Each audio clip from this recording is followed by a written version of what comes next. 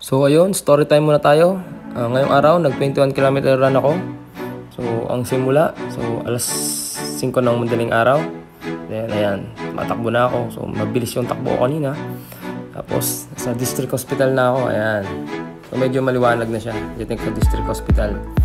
Tapos lumiko ako, pumasok ako ng San Isidro Barangay Hall. Yan, selfie muna. Siyempre, yan, nakangiti pa ako. Hindi pa ako mukhang pagod. Kaso may nakita akong aso dito. Ayan, si, hindi ko alam. Nakatakot siya. Ayan, so nung papalapit ako, bigla din siyang lumapit. Pero hindi naman siya tumahol. Ayan. Tapos, yun, slow mo. So, syempre, ayan.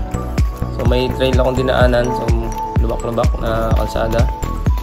So, nakakatawa dito kasi kahit pa paano matitraining ka talaga dito na umiiwas sa tubig. Pero kung hindi ka makaiwas sa tubig, eh di daanan mo yung tubig. Yan, di ba? Training pa rin yan eh. So, sa mga gustong sumama sa akin, tara, samahan nyo ako kasi ako na lang mag-isa. Kinakausap ko yung sarili ko minsan. Parang gusto na rin sumagot eh. Ayan, may tubig-tubig to.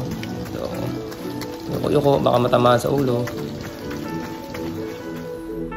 Yan. Tapos, pagkalampas namin, pagkalampas ko, arte na ako ng La Curva. Yan. Selfie muna, syempre.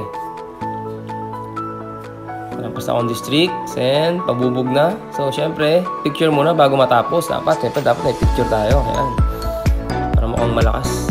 Yun. So, nabitin ako. Kailangan matapos yung 21 kilometers. So, dumaan pa ako sa beach. Yan.